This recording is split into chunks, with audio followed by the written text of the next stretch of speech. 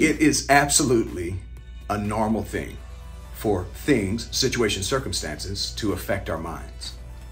But I don't have to let it infect my soul. I don't have to let it make that trip from the mind to the soul.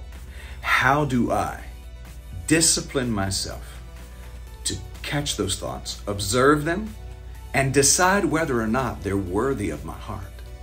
You see, we all have thoughts running through our minds, 60 to 70,000 thoughts a day about a variety of different things. We are inundated by media, social media, mainstream media, the people around us who want to talk about media, politics, religion, likes and dislikes.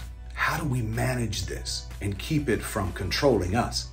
Well, we can make a decision, and I've made that decision. That's why you saw the quote yesterday. That's why you're hearing this today. I know I'm going to be affected by my thoughts, but I do not have to be infected by my thoughts. Guard your heart.